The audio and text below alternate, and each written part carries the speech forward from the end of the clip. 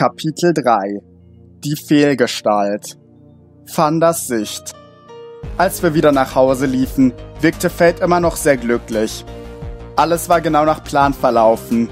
Mir war schon klar gewesen, dass G genauso neugierig über Fates Geschichte wäre, wie ich es war. Außerdem, auch wenn er nach außen wirklich rau wirken kann, war er schon immer ein freundliches Pokémon. Ich hatte bereits erwartet, dass er Fate dazu auffordern würde, mit mir zusammenzuarbeiten. Nun, wo das Wichtigste geklärt war, wollte ich ihr beibringen, wie man die Sklaven am besten bekämpfen kann. Wir brauchten nur ein paar Minuten, um wieder nach Hause zu kommen, und als wir um die letzte Ecke liefen, sah ich ein Pokémon an meiner Haustür stehen. Fate schien vom Anblick des seltsamen Wesens sehr verwirrt. Ich grüßte ihn jedoch einfach. Hey, SD, auch wieder da. Er wirkte ziemlich froh, als er mich sah. Wenn das nicht mein bester und einziger Freund Fanda ist. Wie geht's, wie steht's? Als ich mit meinem Freund, dem lila Wulpix, sprach, merkte ich, wie Fate sich hinter uns auch näherte. Komm schon, Fate. Du musst keine Angst vor ihm haben. Sie wirkte zwar sehr unruhig, jedoch trat sie nun neben mich. Wer bist du denn? Hast du etwa ein Mittel aufgeschnappt, während ich weg war? Vermutlich lief ich genauso rot an wie Fate. Na, nein, wir kennen uns erst seit rund einer Woche. Wir sind nicht zusammen. Esti begann zu lachen. Naja, zumindest war ich überzeugt, dass dieses eigenartige Geräusch ein Lachen sein sollte. Als Uneingeweihter würde man sich vermutlich Sorgen machen, dass er gerade am Ertrinken wäre oder etwas ähnliches. Fate sah mich an. Sie verstand genauso wie die meisten nicht, was mit ihm los war. Du weißt es dich nur aufzieh, Kumpel. Aber im Ernst, wer bist du, Wulpix? Zum ersten Mal in der Anwesenheit meines einzigen Freundes sprach sie. Mein, mein Name ist Fate. Ich bin heute der Polizei beigetreten. Wieder lachte das eigenartige Pokémon. Kein Grund, so nervös zu sein, Fate. Alle Freunde von Wanda sind auch meine Freunde. Bei der Menge ist das auch relativ einfach zu handhaben. Aber wie habt ihr den alten G denn dazu überredet, dich beitreten zu lassen?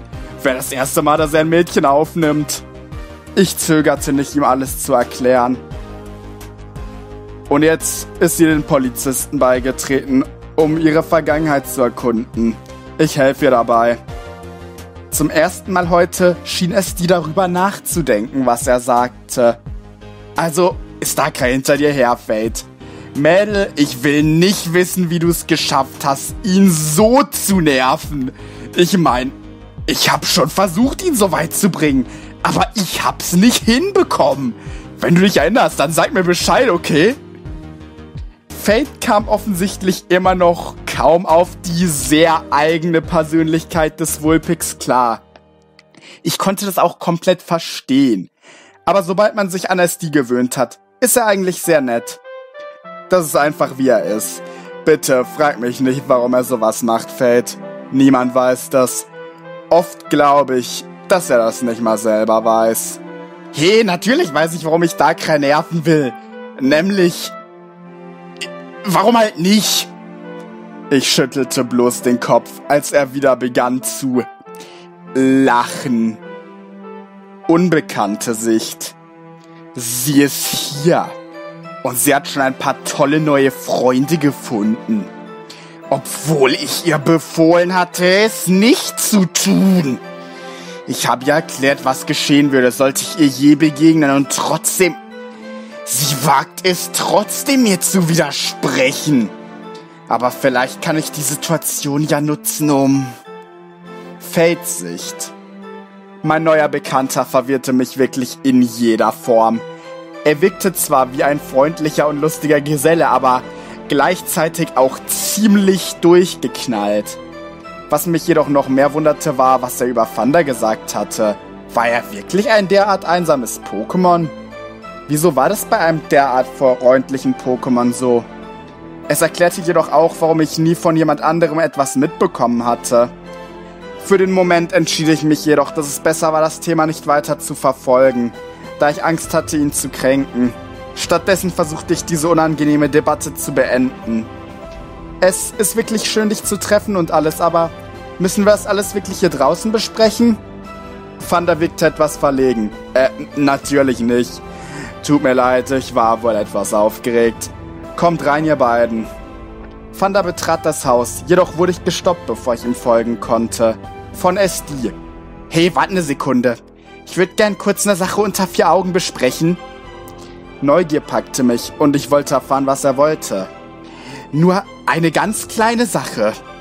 Auf einmal begannen seine roten Augen zu glühen und sein Fell sah aus, als würde es brennen. Solltest du jemals auch nur ein einziges Mal meinem Kumpel wehtun, dann werde ich dich finden, egal wo du dich versteckst. Ich werde dich finden und dir mehr Qualen bereiten, als du dir je vorstellen könntest. Verstanden? Dieser plötzliche Auftritt machte mir wirklich Angst. Ja, verstanden. Sofort sah er wieder normal aus. Sehr schön, dann können wir, glaube ich, gute Freunde werden. Ohne auf eine Reaktion zu warten, trat er in Fanders Haus ein und ließ mich sprachlos stehen. Als ich mich von dem Schock erholt hatte, entschied ich mich, ihm zu folgen. Kaum hatten wir uns zusammengesetzt, fasste Fanda die Situation zusammen. Also, unser Problem ist jetzt, dass wir nicht genug Raum für alle haben. Feld, du musst wissen, dass es dir in der Regel hier bei mir übernachtet, wenn er gerade nicht reist. Weil er nie lange in der Gegend bleibt, wäre es in jeder Form eine Verschwendung, wenn er sich ein Haus kaufen würde oder sowas. Daher lasse ich ihn immer hier bleiben. Aber jetzt, wo du auch da bist, haben wir nicht mehr genug Räume für jeden. Habt ihr Ideen, wie wir damit umgehen können? Der Gedanke, dass das Vulpix, welches mir gerade noch gedroht hatte, nun ein Mitbewohner sein würde, stimmte mich nicht so fröhlich. Ich wusste immer noch kaum etwas über ihn. Deshalb wusste ich auch noch nicht, was ich wirklich von dem seltsam gefärbten Pokémon halten sollte. Ich entschied für den Moment jedoch, dass er wohl in Ordnung sein musste, wenn Thunder ihm vertraute. Bevor ich jedoch überhaupt anfangen konnte, über das erwähnte Problem nachzudenken, präsentierte es die bereits seinen Ansatz. Ich glaube nicht, dass wir hier wirklich viele Optionen haben. Entweder müssen sich eben zwei von uns ein Zimmer teilen oder irgendjemand muss woanders bleiben. Und wenn ich an die Umsetzbarkeit denke, bleibt uns eigentlich nur Option 1. Wir haben kaum eine andere Wahl. Fanda dachte ebenfalls über diese Option nach. Ich fühlte mich nicht sonderlich wohl dabei, mir ein Zimmer teilen zu müssen. Es würde mich definitiv nicht umbringen, aber es würde seltsam und unangenehm werden, da ich beide nicht sonderlich gut kannte. Vor allem natürlich SD nicht.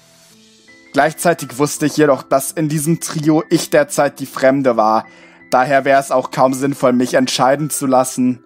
Trotzdem fühlte ich mich etwas unwohl, als beide zu einem Entschluss kamen. Wir sind hier trotz allem immer noch in deinem Haus, Fanda. Du lässt uns nur hier bleiben. Die einzig faire Option wär's, wenn ich und Fed uns ein Zimmer teilen, meinst du nicht auch? Nein, meine ich nicht. Jedoch sprach ich meinen Gedanken nicht laut aus. Fanda wirkte auch etwas unsicher, wahrscheinlich mit einer Ahnung, was ich dachte. Naja, wäre das für dich in Ordnung, Feld. Ich entschied mich dieses Mal nicht ganz bei der Wahrheit zu bleiben. Es würde nur Probleme machen und außerdem hatte es die im Prinzip ja recht. Es war die fairste Option. Ja, es wird schon klappen. Fanda wirkte nicht sonderlich überzeugt von meiner Antwort, beließ es aber trotzdem dabei. Na dann, ihr zwei solltet euch vermutlich etwas einrichten. Ihr solltet die Zeit nutzen, um euch etwas besser kennenzulernen. Ich denke, ich mache uns in der Zeit was zu essen oder so. Nun verließ er den Raum und ging in die Küche. Auch SD stand auf. Er nahm jedoch die Tür an meiner linken Seite. Mein unser Raum.